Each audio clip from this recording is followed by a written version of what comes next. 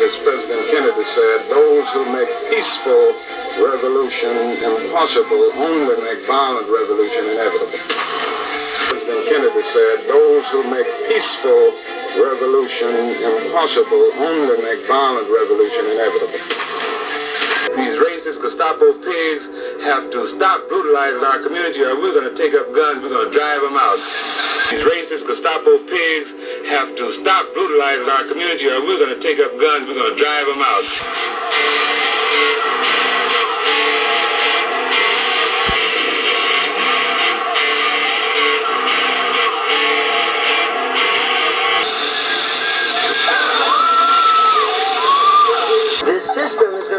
It's going to mean a fight. And it's going to mean a lot of white people risking a lot of things when they finally join on the side of the black people. It's going to mean a lot of white people risking a lot of things when they finally join on the side of the black people and the